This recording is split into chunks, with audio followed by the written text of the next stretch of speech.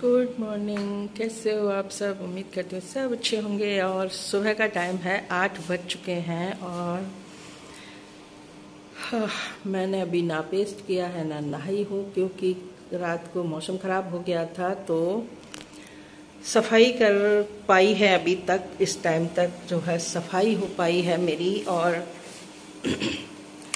और कोई काम नहीं हुआ है क्योंकि आंधी भी आई थी रात को तो फिर घर कितना गंदा हो जाता है, ये सभी जानते हैं, फिर सफ़ाई में कितना टाइम लगता है, ये आप लोगों को अच्छे से पता है। तो बस मैंने अब सफ़ाई कर पाई है, आठ बज चुके हैं, और मुझे पता था कि सफ़ाई में काफ़ी टाइम लगेगा, इस वजह से मैंने आज नाश्ते में दलिया छोप दिया था, दलिया हमारा बन चुका है, और अब मैं अभी थोड़े से बर्तन और हैं, इनको धुलूँगी, उसके बाद नहाऊँगी तो अभी फ़िलहाल पहले पेस्ट करूँगी और उसके बाद बर्तन धुलूँगी, उसके बाद नहाऊँगी, दलिया हमारा रेडी हो चुका है।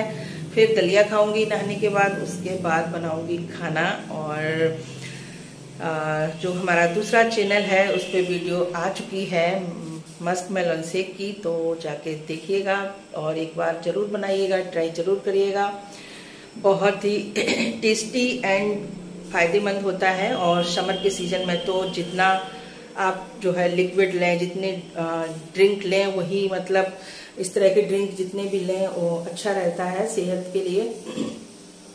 तो एक बार ज़रूर विज़िट करिएगा उस चैनल पे और वीडियो पसंद आए तो लाइक कमेंट कर दीजिएगा। नहीं पसंद आए तो कोई बात नहीं है। चैनल को सब्सक्राइब कर लेना अगर पसंद आए तो और नहीं आए तो मत करिएगा, कोई दिक्कत नहीं है।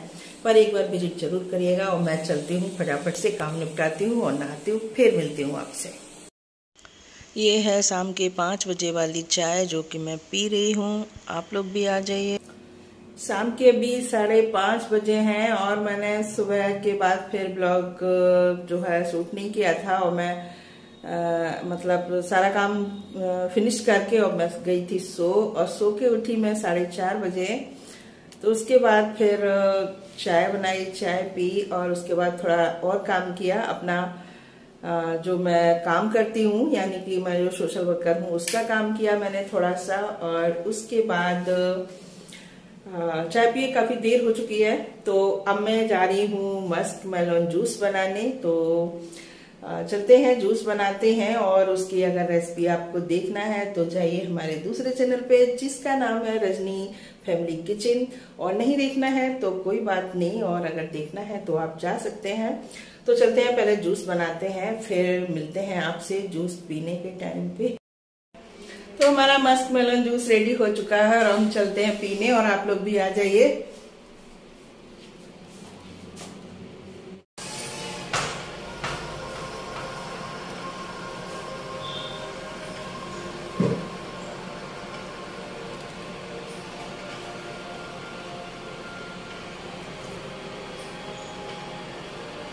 बहुत टेस्टी है और गर्मी के सीज़न का बहुत ही अच्छा ड्रिंक है तो आप लोग भी ट्राई ज़रूर करिएगा।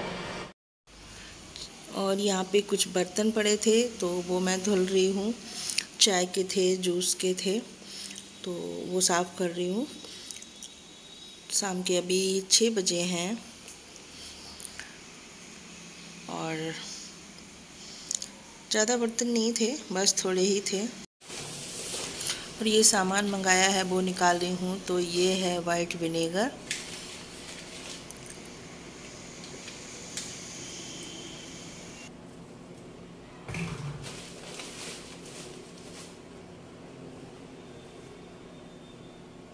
शिकंजी मसाला और साबुत धनिया तड़का वड़का के लिए मंगाया है। वैसे तो पिसा हुआ ही लेती हूँ पाउडर ही लेती हूँ, ये तड़के के लिए मंगाए हैं। नमक और खड़ी सौंप ये भी तड़का के लिए। और ये मूंग दाल hand wash shampoo poha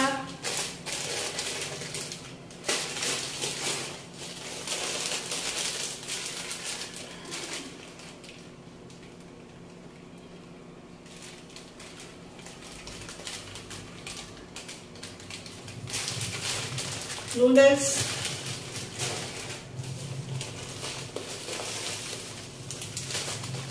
और ये है जवा, सेवई।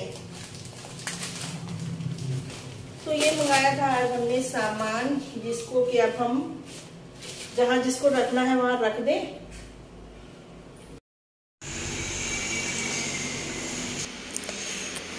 उसके बाद मैंने जो है, जो भी सामान था, जहाँ रखना था, वहाँ रख दिया है और मैं दूध भी ले आई हूँ। तो दूध रख दिया है मैंने गैस पे गरम होने और यहाँ पे जो दाल मंगाई थी मैंने जो दाल भी जो है डिब्बे में पलट ली है। डिब्बे में रख दी है भर के और उसके बाद अब देखूँगी खाने में क्या बनाना है। अभी